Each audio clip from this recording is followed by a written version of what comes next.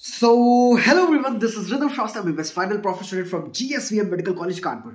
So guys, NEET 2024 आ रहा है करीब। अब आपकी हो रही दिल की धड़कने तेज। समझ नहीं आ रहा कि इस टाइम पढ़ना क्या चाहिए करना क्या चाहिए क्योंकि कट ऑफ़ आपने जैसा देखा था नीट 2023 में भाई आसमान फाड़ के निकल गया था कट ऑफ़ तो भाई सबको स्कोर तो अच्छा करना ही है।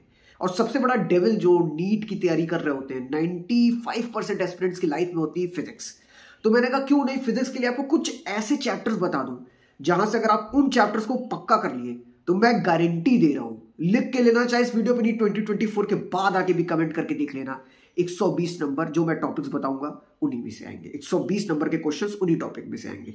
देखो, हम लोग क्या करते हैं, हम लोग 100 परसेंट की तरफ़ फोकस करने के चक्कर में 80 परसेंट नंबर ले आते हैं।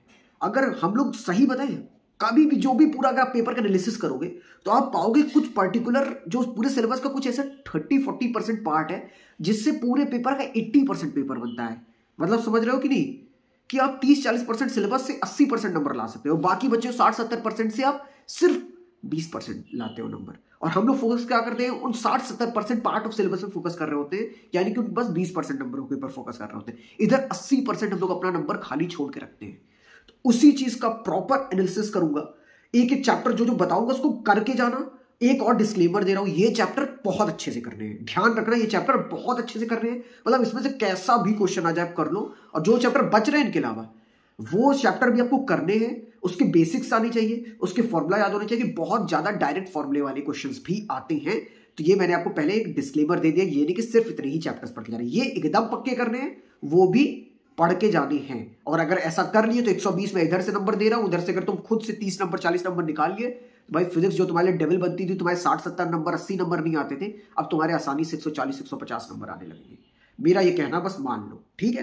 तो इससे पहले कि आगे बढ़े, देखो यार 120 नंबर तो आपके कहीं नहीं गए फिजिक्स में, इस वीडियो को एंड तक देखोगे 120 नंबर आपके पक्के हैं, ठीक है? बट मैं अगर आपको बोलूँ, मैं आपको कुछ और नंबर फ्री में दे दूँगा तो आप सब लोग लेना चाहोगे। तो चलो, मैं आपको एक ऐसी ऐप के बारे में बताता हूँ, जो आपकी नीट की प्रिपरेशन को बहुत आसान करती है। जी हम बात कर रहे हैं मेमोरी टैप की। देखो एक एक करके इनके फीचर बताते हैं। सबसे पहला फीचर भाई की नोट्स स्ट्रिक्टली न्यू जो सिलेबस आया ना एनएमसी का जो स्ट्रिक्टली जो पैटर्न आया है उस पर भाई इन्होंने फिजिक्स केमिस्ट्री बायोलॉजी तीनों सब्जेक्ट के नोट्स लॉन्च कर दी भाई कलरफुल डायग्राम्स है निमोनिक्स है फिजिक्स के लिए फॉर्मूला जो आपको चाहिए, सारे हैं भाई। मतलब आपको रटाने के लिए पिक्टोरियल मेमोरी भी तैयार होगी कंसेप्ट भी क्लियर होंगे सब कुछ एक जगह। उसके बाद इनका दूसरा फीचर की बात करें। देखो, होता क्या हम लोग नीट में जाते हैं, हम लोग जब पेपर देखे आते हैं तो लगता है पेपर टफ तो था, बहुत ट्रिकी था, ठीक है? बट जब रिज़ल्ट आता है तो पता चलता है, भाई सात सौ के ऊपर लाने वाले सौ के ऊपर लोग आखिर ऐसा क्यों हो रहा है? उनको पेपर आसान लग रहा है और आपको पेपर टफ क्यों लग रहा है? क्योंकि आप लोग वो ट्रिकी क्वेश्चन प्रैक्टिस करके जा ही नहीं रहे हो। आप एक सिंपल फैक्ट बेस्ड चीज़ें पढ़ के जा रहे हो बस।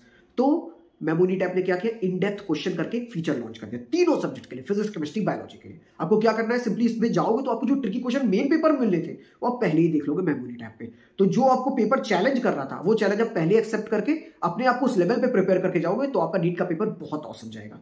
उसके बाद भाई इनका जो तीसरा फीचर है जो अभी न्यूली लॉन्च है, भाई बहुत अमेजिंग है। P Y Q marked NCERT मतलब भाई इन्होंने पूरी एनसीआरटी आपको प्रोवाइड कर दी, उसमें जो हाईलाइट पॉइंट्स उस पर अगर आप क्लिक करोगे तो आपको पता चल जाएगा, भाई किस साल इससे कौन सा क्वेश्चन आया है। मतलब भाई यार कितना आसान हो गया।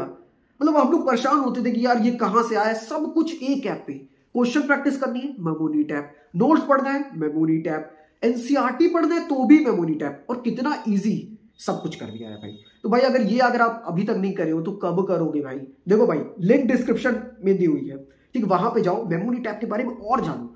सब्सक्रिप्शन चाहिए ना, अपने भाई का कोड यूज़ कर लो रिदम थ्री हंड्रेड तीन सौ रुपए मेरी तरफ़ से ऑफ़ हो जाएगा। ठीक है?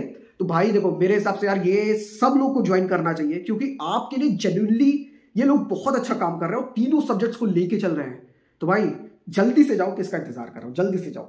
लिंक डिस्क्रिप्शन में दी हुई है। चलो, अब आते हैं अपने मेन टॉपिक दैट इज़ क्या है वो आखिर टॉपिक्स क्या है वो आखिर इंपॉर्टेंट चैप्टर्स जिसको हम लोग कर लेंगे? तो हमारे नंबर सिक्योर हो जाएँगे 120 प्लस पहली चीज़ जान लो, देखो भाई ट्वेल्थ की फिजिक्स ज़्यादा पूछी जाती है, इलेवंथ की फिजिक्स कम पूछी जाती है। कम मतलब ऐसा नहीं कि बीस परसेंट पूछी जा रही है अस्सी परसेंट पूछी जा रही है, ऐसा नहीं है। अगर वेटेज देखोगे तो सम वॉट फोर्टी सिक्सटी का वेटेज है, ठीक है? बहुत बड़ा अंतर नहीं है, ठीक है? तो आपको इलेवंथ भी पढ़ना है, आपको ट्वेल्थ भी पढ़ना है। अब ट्वेल्थ वाला सेक्शन क्या होता है? थोड़ा बोरिंग है, थोड़ा ऑप्सलेट चीज़ें कई ऐसी चीज़ें जो आप इमेजिन नहीं कर सकते हो, ठीक है? आपको इमेजिनेशन उसमें काफ़ी स्ट्रॉन्ग करनी पड़ेगी, तब जाके आपको समझ में आएगा। तो ट्वेल्थ वाले चैप्टर्स थोड़े ट्रिकी हैं। थोड़े चैलेंजिंग है और उसी से आप लोग कतराते हो, उसी से आप डरते हो। बट नीट क्या करता है? वही से क्वेश्चन पूछता है। तो अब तो आपको सीखना ही पड़ेगा। तो मैं जो जो चैप्टर बोल रहा हूँ, लिख के ले लो, ये चैप्टर तुम करके ही जाओगे, चाहे जो हो जाए। ठीक है? ये चैप्टर तो छोड़ के जाना ही नहीं है। अभी बहुत टाइम है नीट में। ये चैप्टर तो एकदम पक्के कर लेने हैं। ठीक है? स्टार्ट करते हैं। देखो, पहले एक जैसे तीन चैप्टर है, मैं उनका नाम ले लेता हूँ। देखो मैग्नेटिज्म इलेक्ट्रोस्टैक्स और ग्रेविटेशन तीनों में पैटर्न ऑफ़ सेट्स चलते हैं। मतलब एक सेट्स ऑफ़ फॉर्मुलाज चलते हैं कि यहाँ पे एफ़ इसको G M one M two square तो एफ़ इसको two K Q one Q two square उधर साइड भी ऐसा पैटर्न चल रहा है मैग्नेट में। तो अगर आप, मैंने प्रीवियसली एक वीडियो कवर भी किया था, जिसमें मैंने कंपैरिजन करके दिखाया था कि भाई तीनों चैप्टर के फॉर्मुले एकदम सेम है। कुछ बदल नहीं रहा है।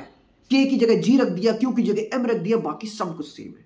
तो अगर आप ये तीन चैप्टर्स पढ़ोगे, जैसे आपने इलेक्ट्रोस्टैट अच्छे से पढ़ दिया तो मैग्नेट आपको पढ़ने में आसानी होगी इलेक्ट्रोस्टैट मैग्नेट पढ़ जाए तो ग्रेविटेशन बच्चा लगेगा एकदम। तो ये तीन चैप्टर्स करने ही है ठीक है?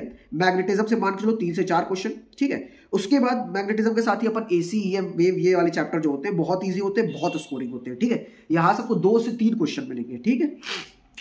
उसके बाद आपको क्या करना है? इलेक्ट्रोस्टैट से मैंने आपको बताया, चार से पाँच क्वेश्चन मिलेंगे इंक्लूडिंग कैपेसिटर वाला पार्ट ठीक है?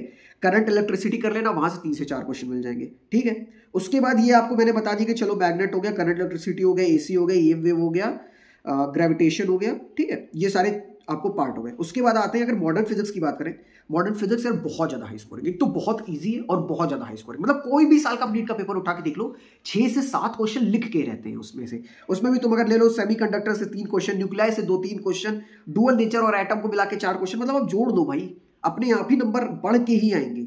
हाँ ई e भी कर लेना। E M I A C E M wave ठीक है, ये चीज़ कर लोगे। यहाँ से भी दो तीन क्वेश्चन आपको मिल जाएँगे ई एम वेव और ई एम आई से। ठीक है? उसके बाद आता है भाई ऑप्टिक्स रे ऑप्टिक्स और वेव ऑप्टिक्स ठीक है? मेरे हिसाब से फॉर्मुला बेस्ड ज़्यादा है। प्रैक्टिस अच्छी करोगे तो बहुत अच्छे से उसको क्रैक कर ले जाओगे। तो पाँच क्वेश्चन चार से पाँच क्वेश्चन यहाँ पे मिल जाएँगे आपको। ठीक है? एस एच एम कर लो, ठीक है? वेव कर लो, दो से तीन क्वेश्चन यहाँ पे आपको मिल गए। के टी जी कर लो, एक से दो क्वेश्चन मिलेगा यहाँ पे गारंटी और हाँ एक ऐसा चैप्टर जिसको आप लोग बिल्कुल भी ध्यान नहीं देते हो, सोचते हो मेरे को तो आता ही आता है। और हर साल उससे दो से तीन क्वेश्चन आ रहा है। ये नया ट्रेंड बना है एनटीए ने नया ट्रेंड बनाया यूनिट्स एंड डायमेंशन का। आप उठा के देख लो, कोई भी पेपर चाहे तेईस का उठा के देख लो, चाहे बाईस का पेपर उठा के देख लो, चाहे इक्कीस का पेपर उठा के देख लो। पहले होता था कि एक क्वेश्चन आता था आप देखो दो से तीन क्वेश्चन आ रहे हैं। तो इस चैप्टर को भी छोड़ के आप नहीं जाओगे मतलब अच्छे से प्रैक्टिस करके जाओगे इजिली वैसे मज़ाक में मत लोगे क्या यूनिट डायमेंशन तो मैं आता है पेपर पे नहीं कर पा रहे हो, ठीक है? तो ये चीज़ ध्यान रखना, जो मैंने ये चैप्टर्स बताए हैं, इसमें पूरी फुल ग्रिप बना लेनी है। अगर आपने इस पर ग्रिप बना लिया ना भाई तो एकदम आप मज़ा, मज़े में आ जाओगे। ये चैप्टर्स आपने कर लिए, उसके बाद देखो बचता क्या है अपना? वो मैकेनिक्स वाला पार्ट मैकेनिक में आपका डब्ल्यूपीई हो गया एनएलएम हो गया आ, वो हो गया आपका क्या नाम है? कैनमेटिक्स हो गया ठीक है? कैनमेटिक्स हो गया एनएलएम हो गया डब्ल्यूपीई हो गया ये सब बहुत ज़्यादा स्कोरिंग है। मतलब पूरा अगर मैं आपको ये बताऊँ कि आपको पूरा ये वाला पार्ट अगर ले लो आप ये ठीक है मैकेनिक्स का पूरा पार्ट ले लो पूरी मैकेनिक्स आराम से दस क्वेश्चन देती है आठ से दस क्वेश्चन देती है ठीक है? मैं आपको अगर सिर्फ़ W P N L M motion one D two D मतलब इसकी बात कर ले कैनमेटिक्स की बात कर ले तो आपको पता है कम से कम आपको यहाँ से पाँच से छः क्वेश्चन मिल जाएँगे। तो मैं आपको गारंटी दे रहा था तीस क्वेश्चन की बट मैं आपको पैंतीस से छत्तीस क्वेश्चन पहुँचा चुका हूँ जो पचास क्वेश्चन में आ रहे होते हैं आपके। अब बच रहे हैं आपके पंद्रह से सोलह क्वेश्चन जो बच रहे हैं आपके। वो अगर आप उनके चैप्टर्स की आपको बेसिक इन्फॉर्मेशन होगी फॉर्मूला बेस्ड बहुत चीज़ें उनमें से आती है, अगर आपको पता होगी तो आप डायरेक्टली डायरेक्टली कर लोगे। कुछ फैक्ट बेस्ड चीज़ें होती है, अगर आपको पता है तो आप कर लोगे। ठीक है? बहुत ज़्यादा ट्रिकी चैप्टर्स है जहाँ पे क्वेश्चन कम आ रहे हैं, उसको आखिरी में करना। पढ़ना है वो भी, जैसे फॉर एग्ज़ाम्पल फ्लूड है। एक क्वेश्चन आता है कभी कभी और जो ये क्वेश्चन आते हैं, वो भी जल्दी लोगों के नहीं लगते हैं। ठीक है तो उसको आखिरी के लिए रखना। मतलब अगर अभी आप एकदम सोच रहे हो कि कौन सा, एकदम ही आपका कुछ नहीं हो रहा है तो आप पहले ये चैप्टर्स पक्के करो, उसके बाद उन चैप्टर्स में मूव करना, वो चैप्टर भी करने हैं बट ये चैप्टर बहुत अच्छे से करने हैं। ठीक है, और अगर इतना कर डाला ना तो आपकी लाइफ चेंज डाला। ट्रस्ट मी मैं कह रहा हूँ, ये वीडियो तो फिर से नीट 2024 के पेपर के बाद आ जाना, और तुम जोड़ लेना जो जो मैंने टॉपिक्स बोली, उसमें से टोटल कितने क्वेश्चन का? मतलब कितने नंबर का पेपर आया है फिजिक्स में।